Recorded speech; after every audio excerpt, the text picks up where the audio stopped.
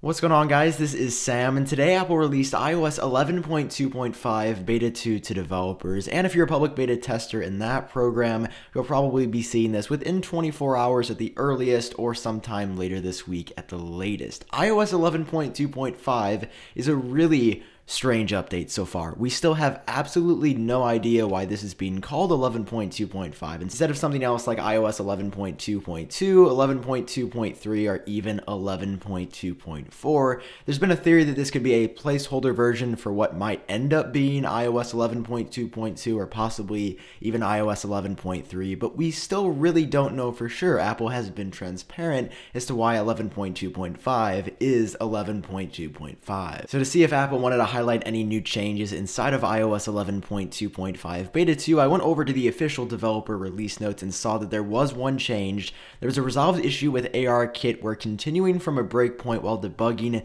an AR session no longer results in VIO breaking, visual objects placed in the world slash anchor are now visible. So if you are a developer working with ARKit, that issue has been corrected inside of iOS 11.2.5 Beta 2. But besides that one change for developers that Apple highlighted in the official release notes, there is nothing else to talk about when it comes to iOS 11.2.5 so far. It is a very small update. Apple still hasn't made clear what direction it's really going because we don't know if it's going to come out sometime in the middle of 2018 and that's why the version number is so high or if it's just a placeholder and the actual like 11.2.2 update will drop tomorrow. I did run a Geekbench test to see if there were any performance improvements and actually between iOS 11.2.5 beta 1 and beta 2 there were some pretty big differences. I got over 10,000 again when I ran the Geekbench today.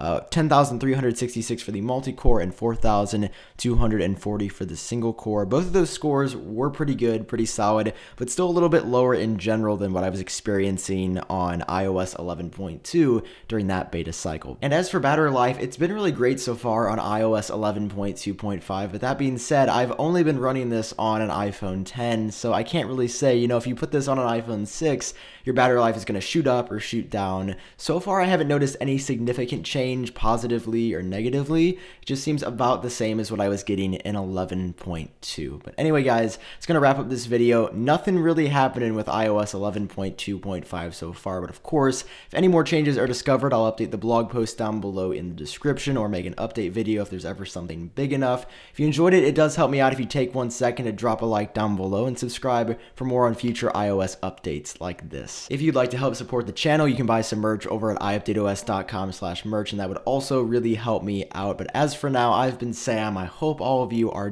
great, and I will talk to you in my next video.